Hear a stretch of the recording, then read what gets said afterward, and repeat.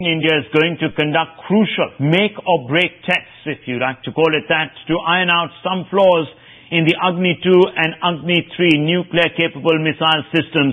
Agni 2 is already inducted into the Indian Defence Services and Agni 3 is in the process of induction.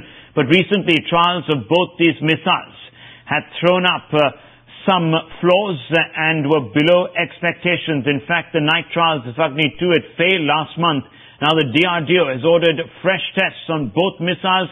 They're both nuclear capable missiles and can hit China. The DRDO says the main flaws are due to production gaps.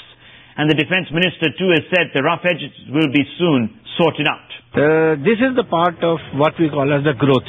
And when you grow from a development into a large volume production, obviously this transition takes some time.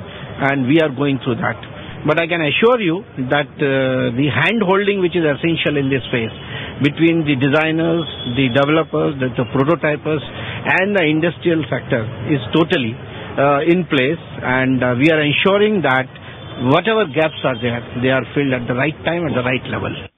Missiles at one trial itself, always you will not succeed. It's a trial and error. There will be sometimes failures also. But you, you should see over the years through DRDO, India has been able to develop many most modern effective missiles. They are doing well. Sometimes there will be failure and at every stage we are revisiting their capabilities. I am sure in the years to come DRDO is going to give us many, many glad news.